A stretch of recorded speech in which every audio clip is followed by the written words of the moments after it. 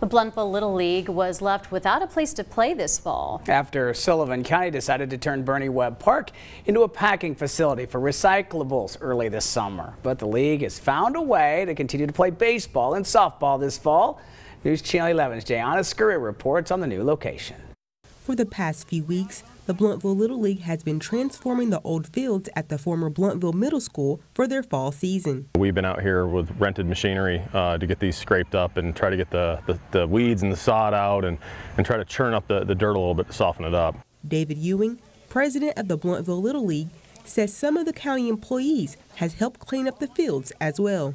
Future plans of the site include a state-of-the-art baseball park but right now, they're still getting the current fields ready. Make sure they're safe. Uh, you know, we found some extra steel studs in the in the ground where the bases were, so we pulled those out so that you know a kid slide in and and you know cut, cut open their leg kind of thing. Blountville Little League is actually using two different locations. One is behind the former Blountville Middle School where two fields are located. The other is back at Bernie Webb Park where two fields have not been demolished yet. This has created a challenge for some parents, like Barry Myers, who is also a coach. Only two of my kids can play. My younger one can't because we can't be in two places at once. So Bernie Webb for the younger kids and not for the older, and that's, that's made for a real problem. Both Myers and Ewing say a perk of being at the Blountville Middle School is having better parking, but they still face more problems. We, we don't have primary access anymore, so that has become a pretty big challenge.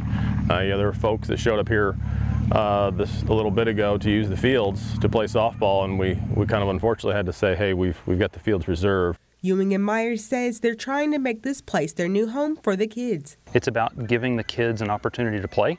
And if we can give them a field that they're proud to play on, that they can call home, even if it's not ideal, we'll work with that. In Blountville, Jaylana Scurry, News Channel 11.